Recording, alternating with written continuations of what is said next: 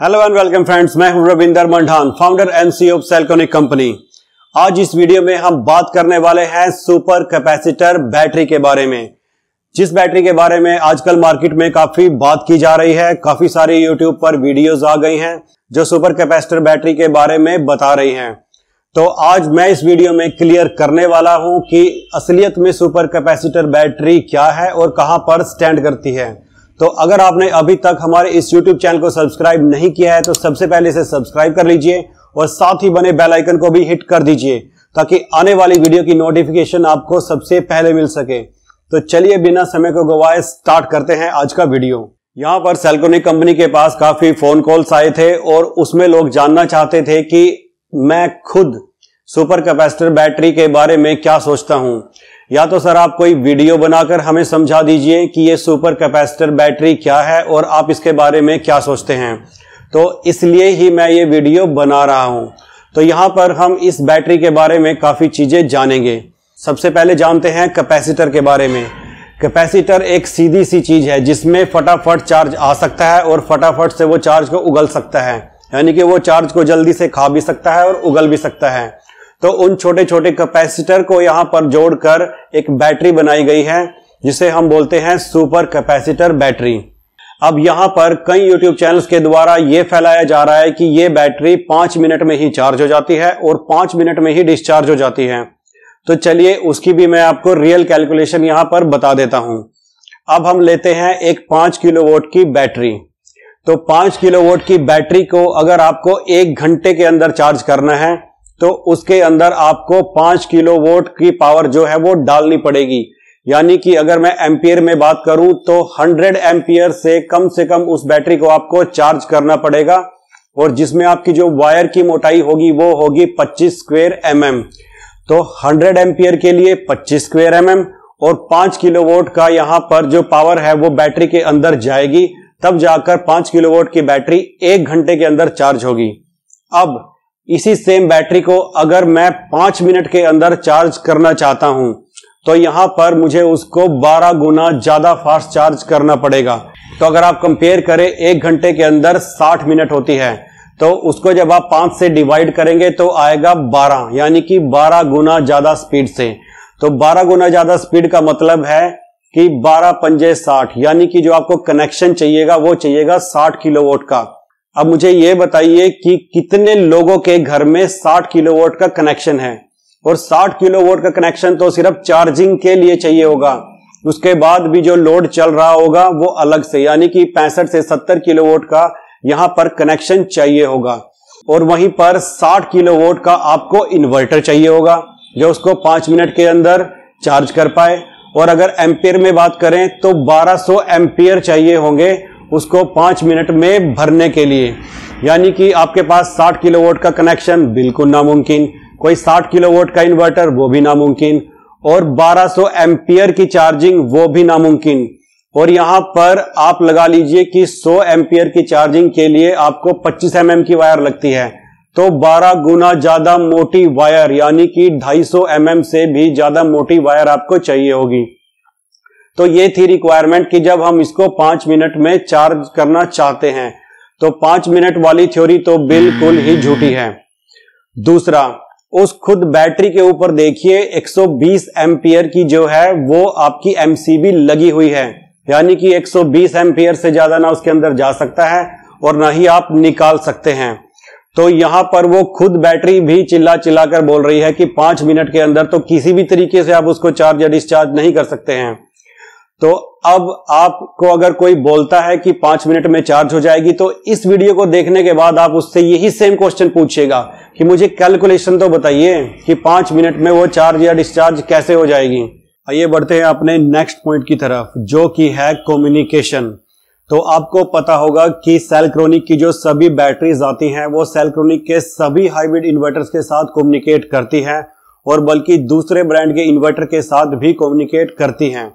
तो जो यहाँ पर सुपर कैपेसिटर बैटरी आपको मिलती है, वो किसी भी हाइब्रिड इन्वर्टर के साथ कम्युनिकेट नहीं करती है। तो यहाँ पर पहले भी मैं आपको वीडियो बनाकर बता चुका हूँ कि अगर कम्युनिकेशन नहीं होता है इन्वर्टर के साथ तो वो पूरे का पूरा सिस्टम फेल है। आप बिना कम्युनिकेशन के कभी भी, कोई भी बैटरी मत लीजिएगा, वरना जो आपके पैसे हैं, वो पूरे के पूरे बर्बाद हो जाएँगे। तो इस पॉइंट से हमें पता चलता है कि अगर कम्युनिकेशन नहीं है तो पूरे का पूरा सिस्टम फेल है। आइए अब बढ़ते हैं नेक्स्ट पॉइंट की तरफ़, जो कि है सेल्फ डिस्चार्ज अब हम कैसे जो है वो चार्ज को स्टोर करते आए हैं? अब तक हम चार्ज को इलेक्ट्रोकेमिकली स्टोर करते आए हैं। आप अपनी लेड एसिड बैटरी ले लीजिए जेल बैटरी ले लीजिए लिथियम आयन ले लीजिए लिथियम आयरन फोस्फेट ले लीजिए। तो उन सभी की सभी बैटरीज के अंदर इलेक्ट्रोकेमिकली जो है वो पावर स्टोर होती है। जबकि जो सुपर कैपेसिटर है, उसके अंदर इलेक्ट्रोस्टैटिकली जो है वो चार्ज को स्टोर किया जाता है। तो यहाँ पर चार्ज को होल्ड करना केमिकली ही पॉसिबल है।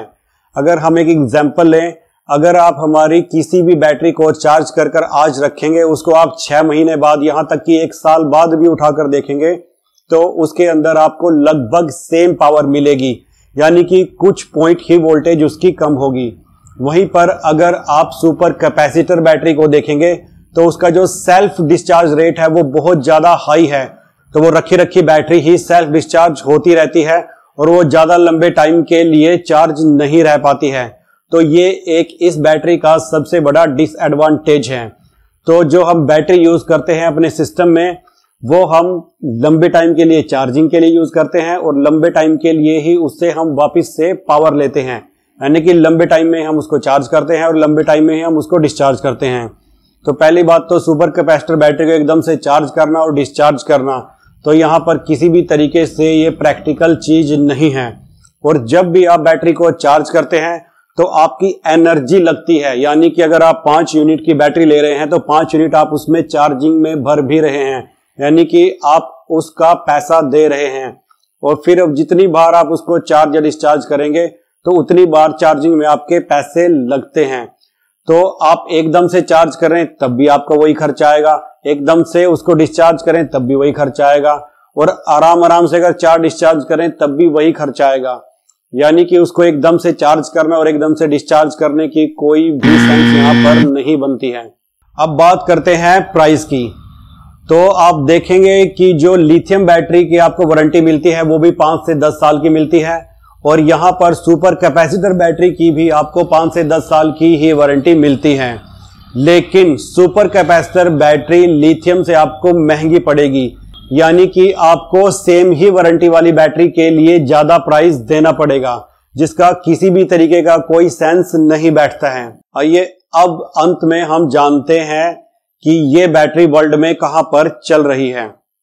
तो देखिए, अगर ये टेक्नोलॉजी इतनी ही ज़्यादा सक्सेसफुल होती तो अब तक दुनिया की बड़ी बड़ी कंपनीज़ इसको अपना चुकी होती। आपके मोबाइल फ़ोन में, आपकी कार के अंदर, आपके बस के अंदर और जगह जगह हर चीज़ के लिए आपको यही बैटरी दिखाई देती। ये बैटरी टोटल पूरी दुनिया के अंदर फेल हो चुकी है।